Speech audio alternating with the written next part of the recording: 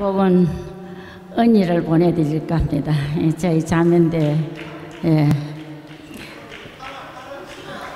언니가 돌아가셨어요. 돌아가시기 전에 너무 저한테 사랑도 많이 주시고 많이 도와주시고 한해 가장처럼 그렇게 저를 아껴주시고 동생을 사랑했습니다. 그래서 그 언니를 잊지 못해가지고 지금 노래를 만들었습니다.